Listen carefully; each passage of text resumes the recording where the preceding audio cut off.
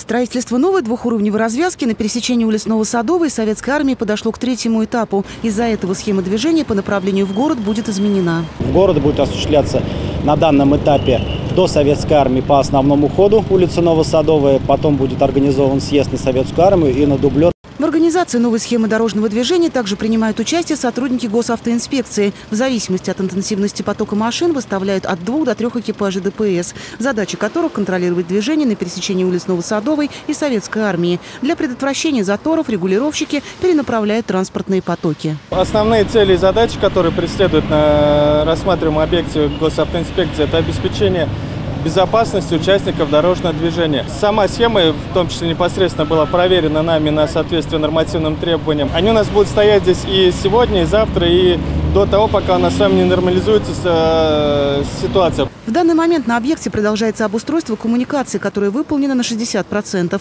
Строители проводят бурение для сваи. Из 298 забетонировано уже 213. Началось возведение опор. Данная стройка, она действительно позволяет городу расширяться и входить в 21 век, собственно говоря, в том качестве, в котором он и был задуман. По нашей статистике у нас от автолюбителей практически нету ни одной жалобы, потому что наши автолюбители, они понимают, что это край крайне важна сегодня автомобильная артерия. Строительство двухуровневой транспортной развязки завершится в конце 2023 года. Ольга Павлова, Никита Колосов, Григорий Плешаков. События.